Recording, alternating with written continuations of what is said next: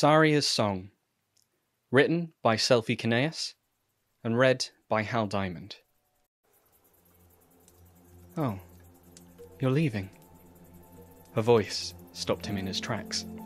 He froze before turning to meet her sad eyes. His mind had been elsewhere entirely. He didn't even see her as he ran past. The old wood of the bridge creaked beneath him as he stepped closer.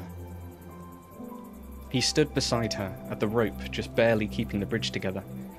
The bridge leading out of Kokiri Forest and into Hyrule Field. A place he never thought he would see in his lifetime.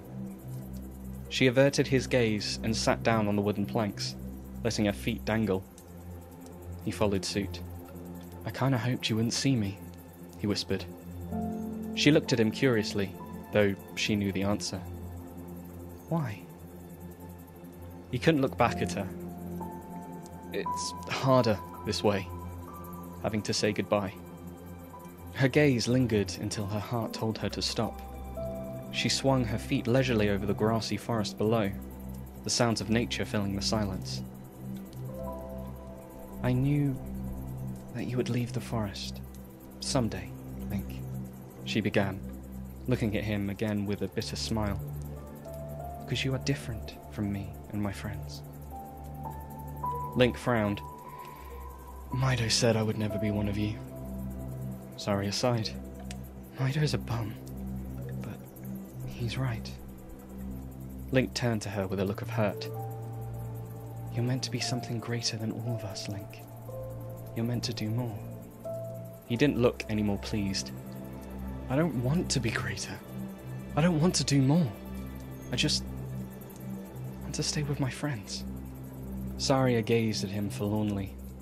She reached over and grabbed his hand. The great Deku tree gave you a task, didn't he? He nodded. Well, he told me I need to go to the princess, that I need to stop an evil man. Saria said nothing. She remained silent in support. Link teared up. Mido said I let the great Deku tree die. Saria sighed. Mido says stupid things. Link pulled his hand away. He twiddled his fingers in discomfort and got to his feet abruptly. He paced and fiddled, and his mind ran faster than his heart. I'm supposed to do all this stuff. Save people. How am I supposed to do that? I've never been anything. I've always just been the weird one, the boy so different a fairy wouldn't even come to him. Mido's right. I'm no good, and I'm not like any of you, and it's all my fault that the great Deku tree died. I can't do any of it, Saria. He sniffled, his emotions growing stronger than him.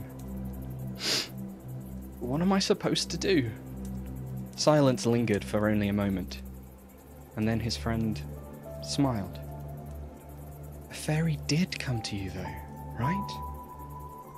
He looked at her with contemplation then he looked at Navi with a look of comfort.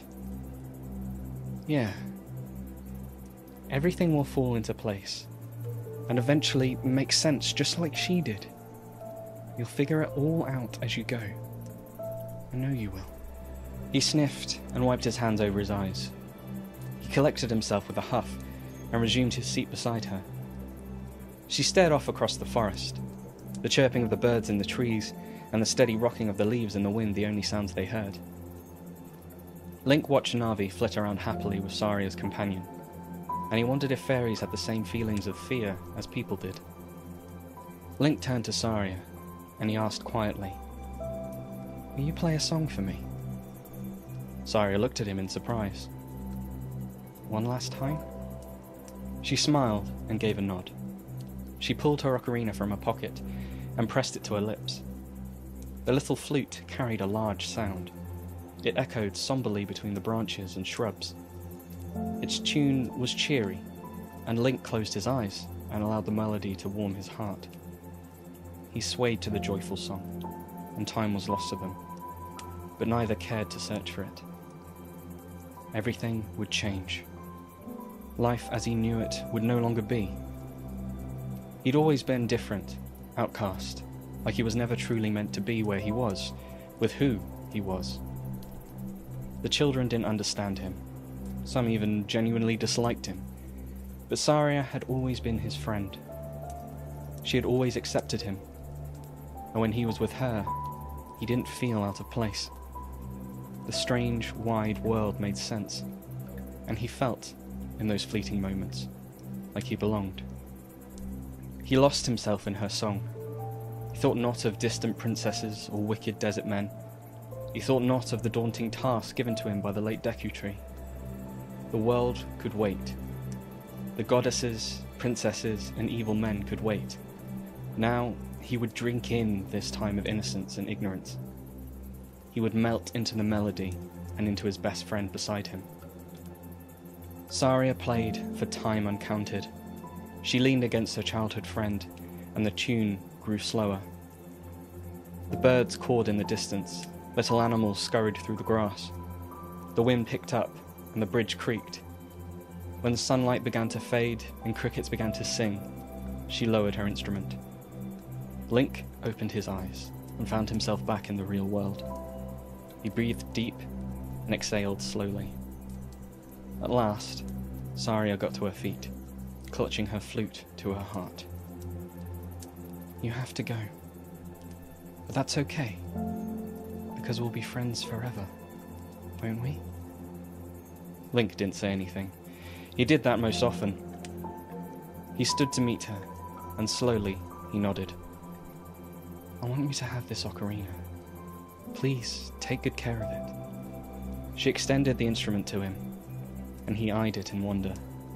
His hand did not immediately react to his brain. Instead, he just stared. He stared at the ocarina, then at the kind eyes of his green haired friend. She smiled, and he took it. He looked it over, tears welling up in his blue eyes.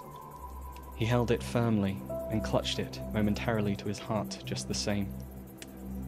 When you play my ocarina, I hope you will think of me and come back to the forest to visit. Their eyes locked, their bodies froze. Fireflies and forest spirits danced between them, but neither noticed. He couldn't hear the squawking of the birds or the rustling of the leaves. His heart threatened to leap from his chest, and he forgot to breathe. His eyes were glued to her, but all she could do was smile sadly. Saying goodbye was too hard. In an instant, he turned and ran, trying to hide the tears that flowed from his bloodshot eyes. But Saria saw. She simply watched as he grew smaller and smaller until the darkness of night concealed him. She listened for his rapid footfalls until they were masked by the sounds of the forest. She waited and watched until he was completely gone. He was meant for so much more. He was meant for something greater. He would be changed, but she would be here when he would return, playing her song to guide him to her. Until duty would call her elsewhere, until she could be here no longer, for she was meant for more as well. They would both be something greater.